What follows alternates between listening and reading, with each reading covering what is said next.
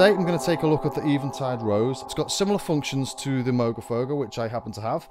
Uh, this is no longer in production and the used prices of this are skyrocketing. You routinely see them now on eBay for well over a thousand dollars and there's one on eBay right now for 200 2000 pounds sorry uh, and another for $2000 so if anyone wants to take this off my hands for 2000 pound I just might consider it so the rose is looking like a bit of a bargain at around $350 £350 so, the Rose is looking good so far as a potential option for anyone looking longingly at a Moogerfooger.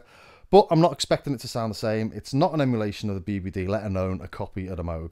But thought it might be nice to see how it stacks up sonically to a real BBD. You know, does it have the same sort of feel? Is it as musical? Is it as easy to fit in a mix? So I'm not going to go through every function of the Rose. There are other videos on YouTube demoing it in full. This is more about the sound. And just to let you know how I'll be doing this, I'll be using the Moog Grandmother as an input so I can get perfect repeatability on the inputs between the two units really.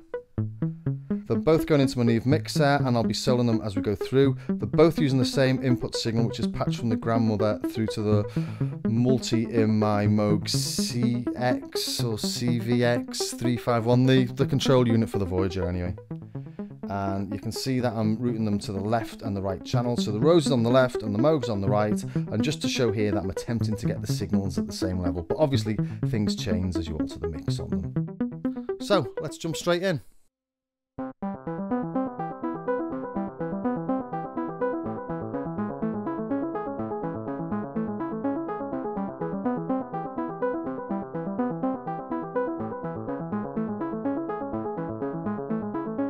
That's really beautiful, isn't it? That's the two of them playing together.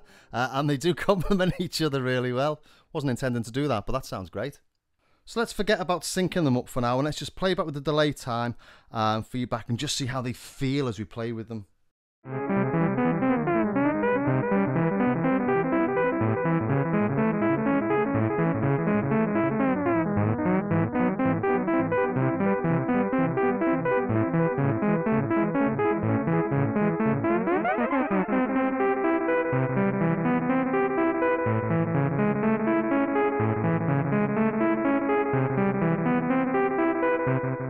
Think you'll agree, all that's really nice, isn't it?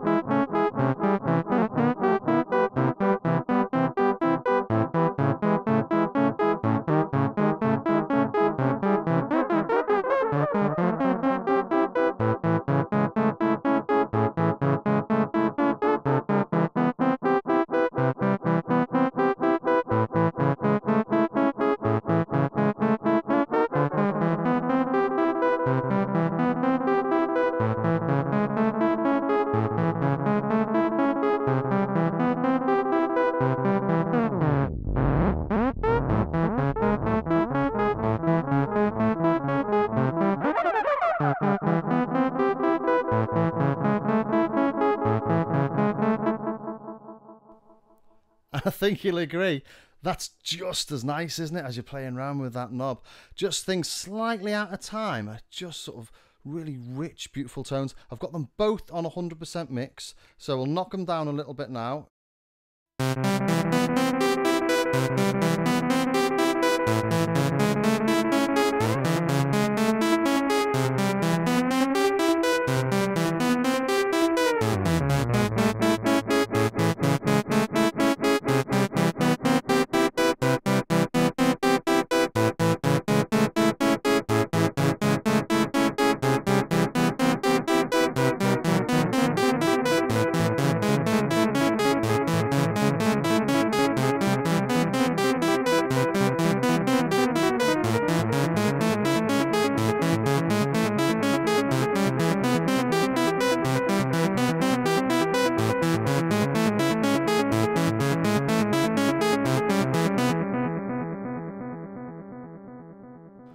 Again, all really nice that. Let's try that over here.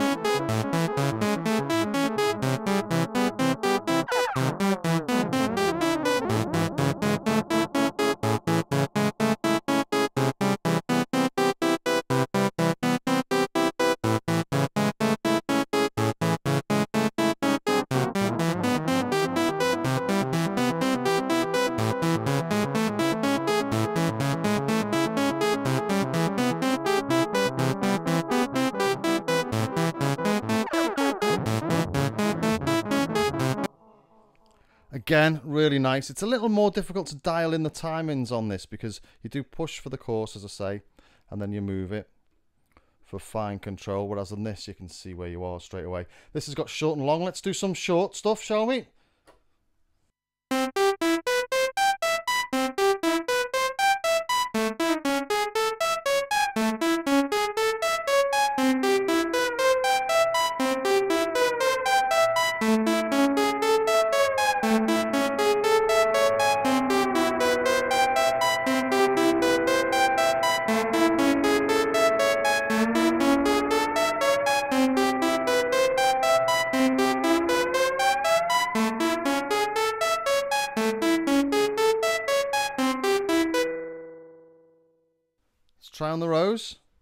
So push delay, bring it down to the bottom, the minimum. This is 0.1 milliseconds minimum. This is 40, I think. So this is a, this can do a lot more flangey type things.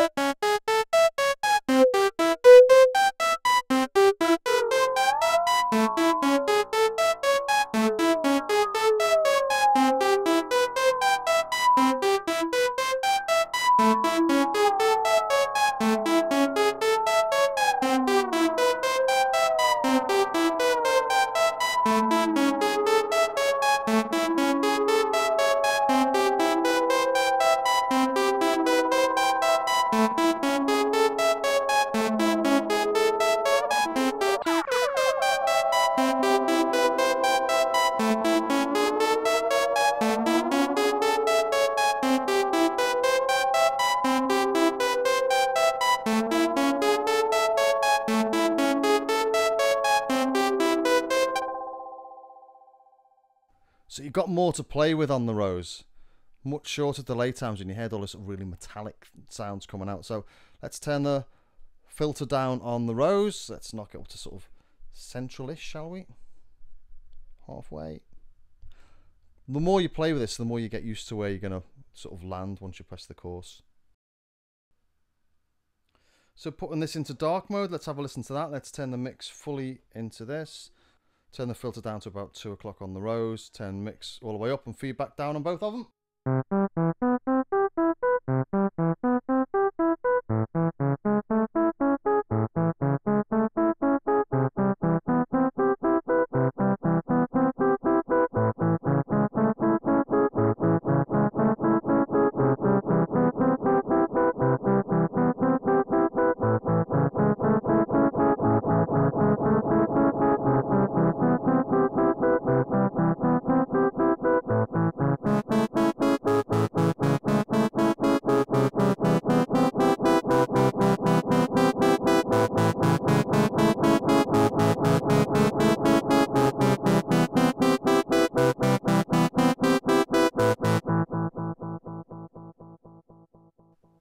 Again, really nice. There's the real grain and grit in that on that dirty mode, isn't there?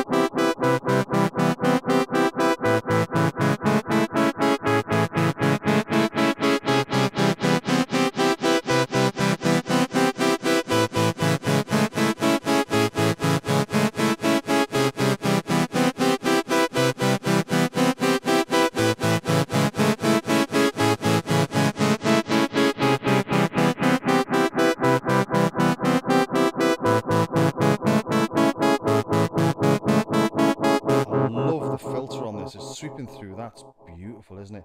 Can't do that on the Moga You've got clean, well, sort of cleanish and dirty. I really like the crunchiness on the dirty setting on this.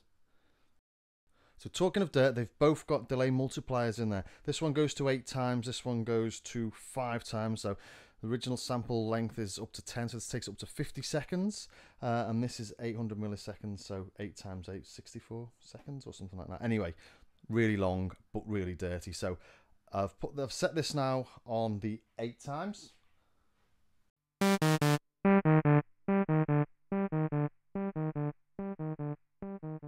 And you can hear how really sort of gritty those delays are.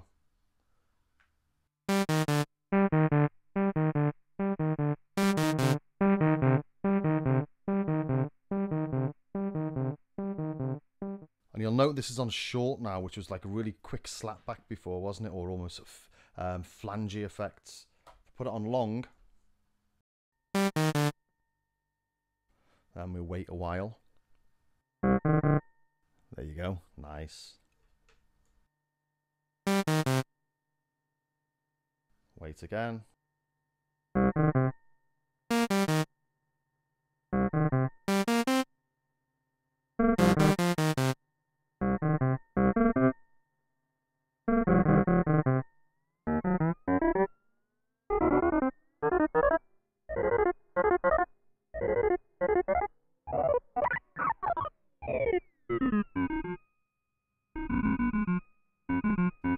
So all sorts of dirty madness.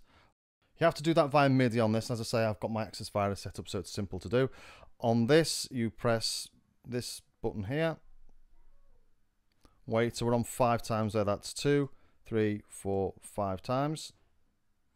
So now the delay goes up to 50 seconds, as I say, so okay.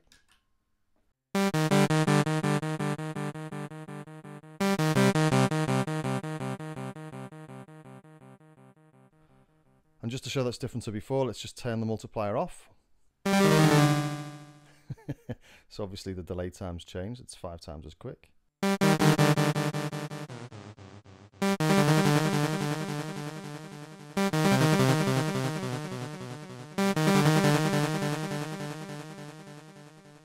the filter on full so you can hear what's happening. Let's put that back on again.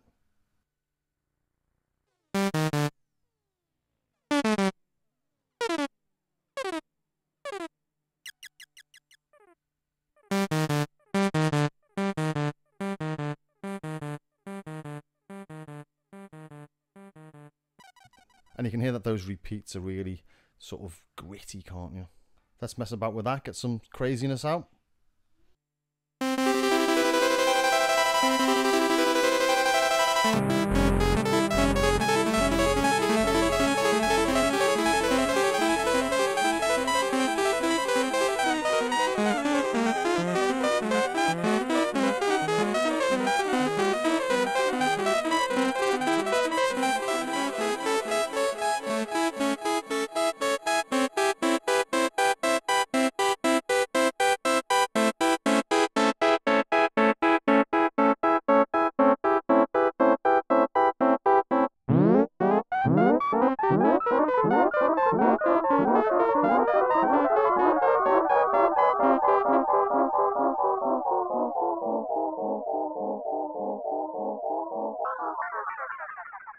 Let's try something like that on the Moogerfooger.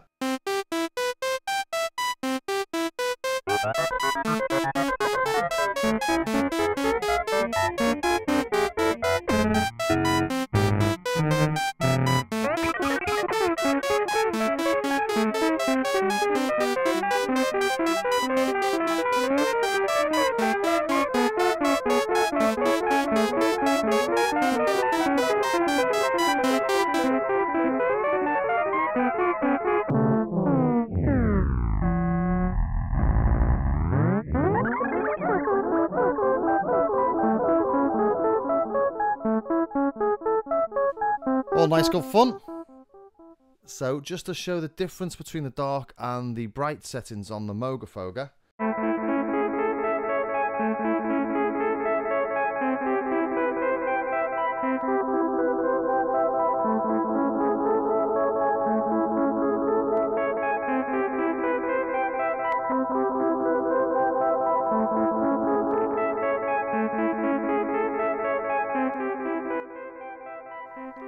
Okay, let's take a look at modulation then. I've set these up so they've got similar sounding delays and I've added a little bit more brightness to that grandmother sound. And let's play the two of them together first.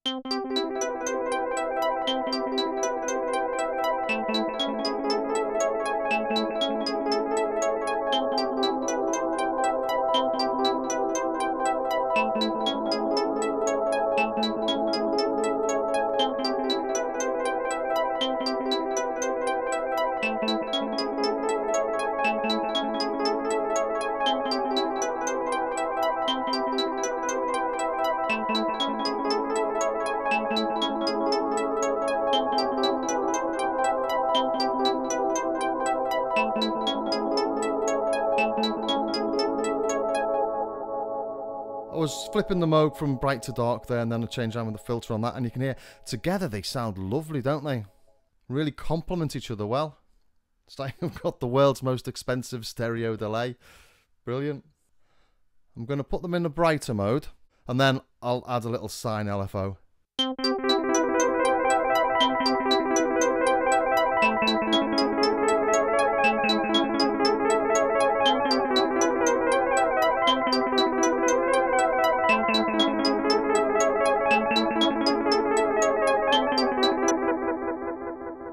Nice effect. Let's try it over here.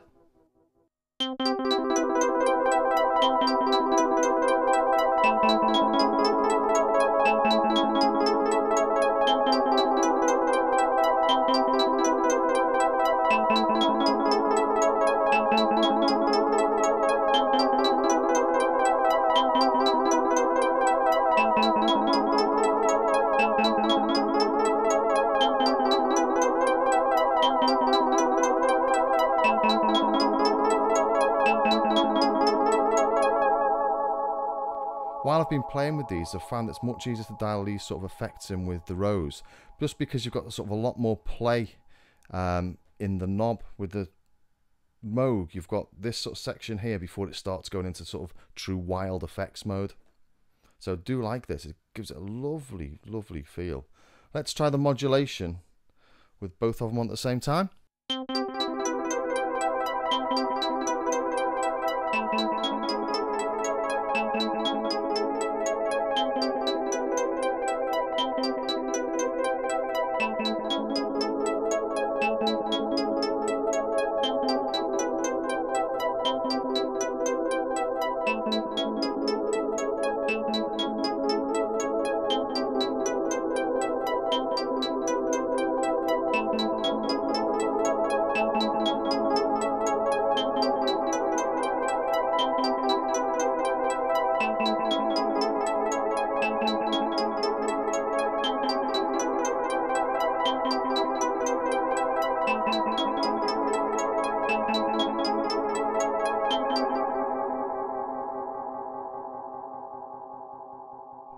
Just really, really nice, isn't it? I think of I'm no longer feeling I've got the Eventide versus the Moog. They complement each other so well. This is this is my new effect. This is my new delay pedal. It's brilliant. Really good fun this. Now here's a little trick with the Moogerfooger that I quite like.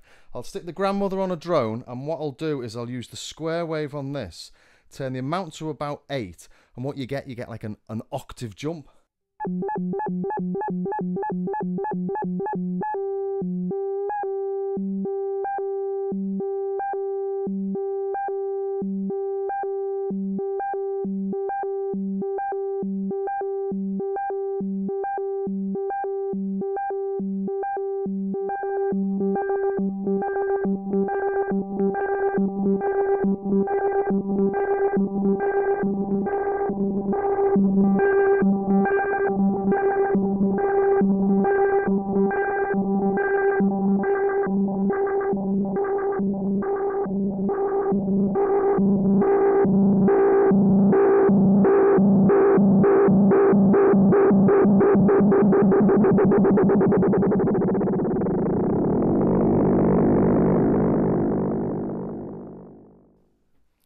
Really nice effect that, isn't it?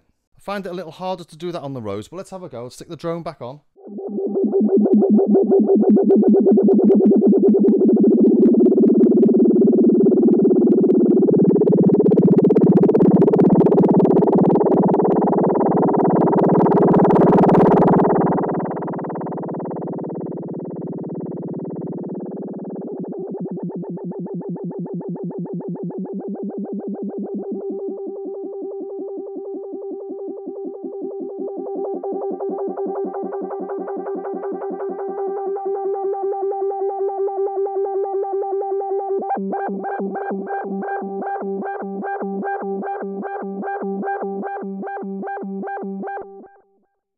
So to sum up, I mean, this is a great little pedal. It doesn't sound like the Moogerfooger. It's not meant to sound like the Moogerfooger. This is analog. This has got digital circuitry in it. Although, as I say, the mix, the feedback, and the filter are all analog.